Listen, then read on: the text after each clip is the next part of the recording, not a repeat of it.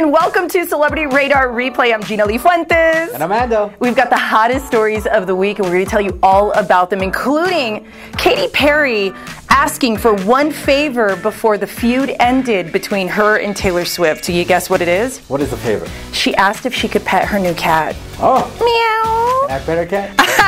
it was crazy because then everybody, when it came to social media, started saying, You want to pet her what?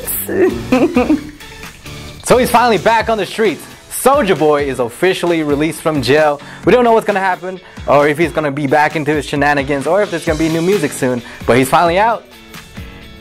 Now, when it comes to R. Kelly, he has been in so much hot water, but now he's thrown back in jail. New videos, 20 sex tapes have been revealed.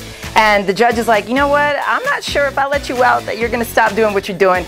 And we don't know if you're going to run. So we're just going to keep you behind bars. So it looks like R. Kelly will not be getting out anytime soon.